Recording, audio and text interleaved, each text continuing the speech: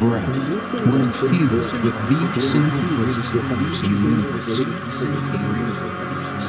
That force is the power to translate the creations of our mind into the reality of our lives. Fully awaken such a power requires a subtle change in the way we think of ourselves and life, a shift in our beliefs.